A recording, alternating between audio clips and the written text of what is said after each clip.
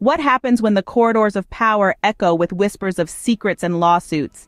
In a tale as old as time, the political landscape in Zimbabwe finds itself amidst a storm, where President Emmerson Mnangagwa sues Neville Mutsvangwa, the son of a close ally, Chris Mutsvangwa.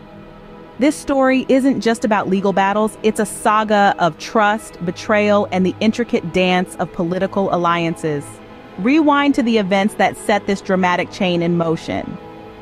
It began subtly, with Chris Mutsvangwa, a prominent figure in Zimbabwean politics and a staunch supporter of President Mnangagwa, allegedly revealing sensitive information about the president.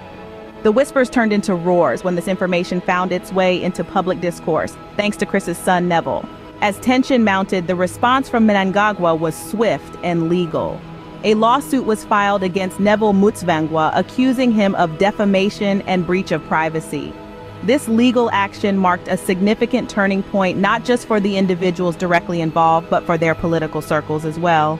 This lawsuit isn't just a simple court case, it's a reflection of strained alliances and the delicate balance of power within Zimbabwe's ruling party. The implications are vast. On one hand, there's the potential fallout in the relationship between President Mnangagwa and Chris Mutsvangwa, which could lead to shifts in party dynamics and influence. On the other, there's the public's perception of the leadership's integrity and unity, crucial factors as the nation eyes future elections.